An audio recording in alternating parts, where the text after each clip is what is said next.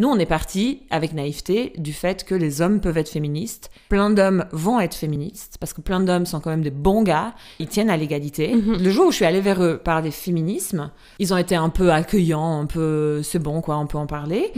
Mais tu te rends compte que même s'ils sont accueillants, derrière ça suit pas. Ils se remettent pas en question pour que eux aussi ils se disent euh, attends mais en tant qu'homme cis, euh, je vais peut-être euh, un peu me remettre en question. Ou alors ils se se remettent en question juste un petit peu, mais ça dure pas beaucoup.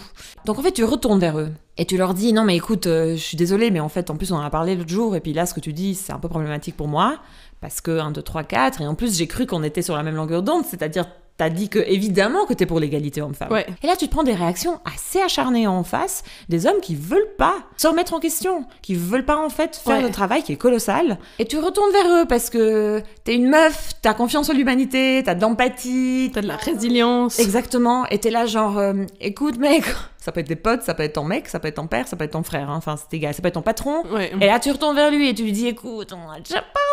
Et puis en fait, euh, ils se déclarent évidemment qu'ils sont pour les hommes et les femmes, mais ils font pas le travail concret. C'est-à-dire, je sais pas moi, de défendre une femme au public, de faciliter la vie des féministes, de pas prendre de la place quand ils sont avec des femmes. Et quand tu leur demandes, demandes, demandes, tu es la chiante. Et des fois même, il y a une attaque euh, agressive qui vient en retour. Et t'es là, en fait, en fait, je vous aime plus. Ouais. Parce que vous m'aimez pas, en fait.